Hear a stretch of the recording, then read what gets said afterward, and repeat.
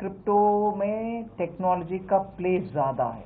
In fact 99 percent वो human नहीं interaction technology का। जी ट्वेंटी के साथ चर्चा अभी जारी है। सबके साथ बात कर रहे हैं, क्या कुछ स्टैंडर्ड ऑपरेटिंग प्रोसीजर हम बन पाएँगे? इस बजट में जो है क्रिप्टो करेंसी को लेकर कुछ, कोई ज़िक्र नहीं किया गया है।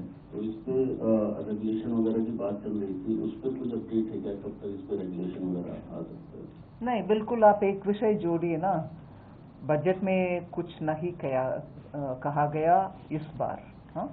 इससे पहले एक बार शायद मैंने कुछ बोला है। उससे उससे हट करके या अलग से कुछ तब से लेकर अब तक कुछ नहीं बोला गया।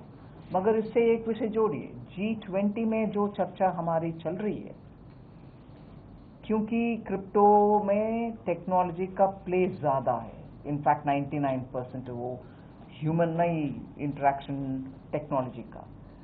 उसमें हम सभी देशों से बात कर रहे हैं कि रेगुलेशन अगर होना है, अगर होना है तो एक अलग देश अकेला कुछ कर नहीं सकते। इसीलिए सबके साथ बात कर रहे हैं, क्या कुछ स्टैंडर्ड ऑपरेटिंग प्रोसीजर हम बन पाएँगे, जिससे अगर सब लोग उसके रास्ते पे चलते हुए एक रेगुलेटरी फ्रेमवर्क हम बना देते हैं, हम इफ़ेक्टिव रह पाएँगे।